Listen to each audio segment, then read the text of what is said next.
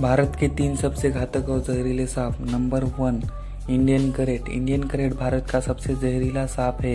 यह सांप रात में निकलते हैं और हमला करते हैं। भारत में यह सालाना लगभग दस हज़ार मौत के लिए जिम्मेदार है। Number two Indian cobra Indian cobra को भारत में नाग के नाम से जाना जाता है। कोबरा ज़्यादातर जंगल में, नदियों के किनारे, खेतों के आसपास रहते हैं। भारत में हर साल पंद्रह हज़ार लोग कोबरा के काटने से मारे जाते हैं। नंबर तीन, रसल स्वाइपर रसल स्वाइपर को भारत में गोरीवाला के नाम से भी जाना जाता है। यह सांप बेहद गुस्सेल और बिजली की रफ्तार से हमला करने में सक्षम है।